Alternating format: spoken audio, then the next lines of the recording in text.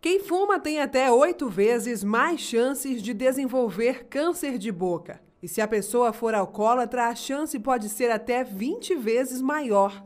Os dados são do INCA, o Instituto Nacional de Câncer. Para 2020, a expectativa era de pelo menos 50 casos no Amazonas. Infelizmente é um câncer comum. Entre os homens a gente tem o câncer de boca como o quinto câncer mais comum e o câncer de garganta ficando em oitavo lugar. Nas mulheres, nessa região de cabeça e pescoço, o câncer de tireoide é o câncer mais comum, onde se esperam 50 casos aqui no nosso Amazonas, sendo 40 da nossa capital.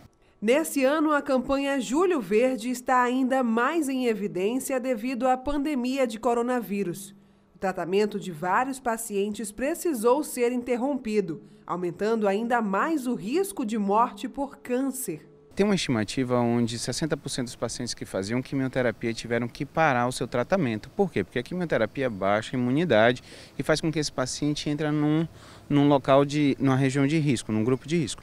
E com isso daí, a gente está prevendo que cerca de 20% a mais de mortes, de óbitos Além de evitar cigarro e bebidas alcoólicas, existem outras maneiras para minimizar as chances de contrair a doença.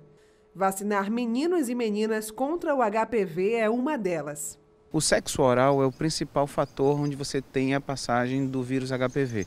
Então, a vacinação, se a gente pensar que a vacinação pode ser feita, ela é dada no SUS, então a gente tem uma vacinação pública, onde a gente pode diminuir ou até se a gente sonhar que acabe esse tipo de câncer por causa do vírus.